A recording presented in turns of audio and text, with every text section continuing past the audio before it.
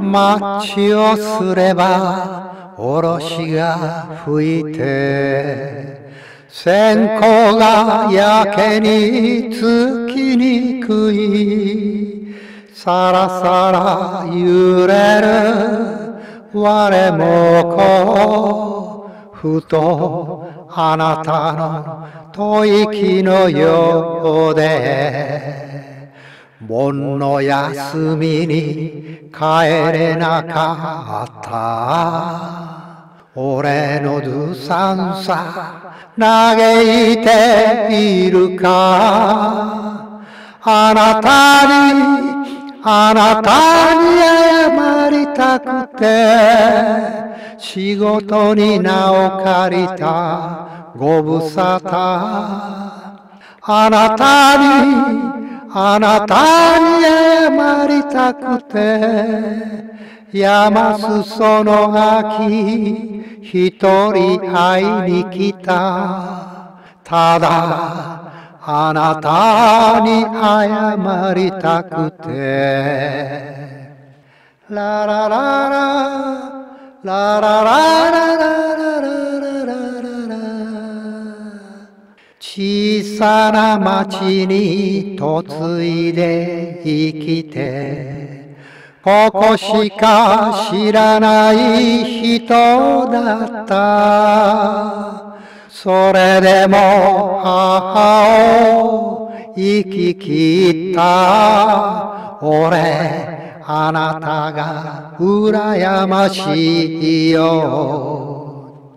今はいとこが住んでるうちに昔みたいに明かりが灯る。あなたはあなたは家族傷よく寂しさをこらえた。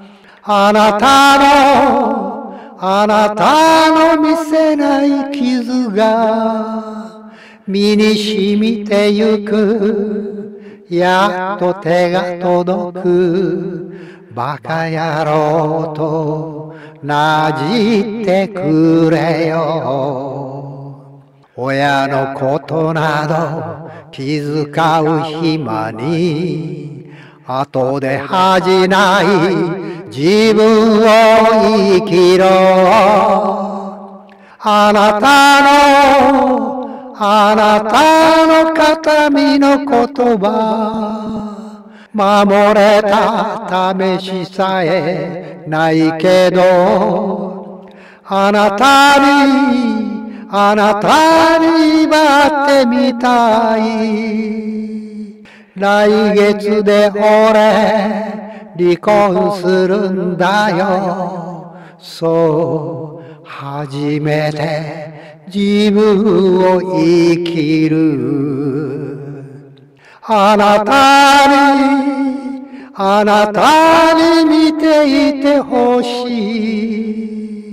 髪に白髪が混じり始めても俺死ぬまであなたの子供。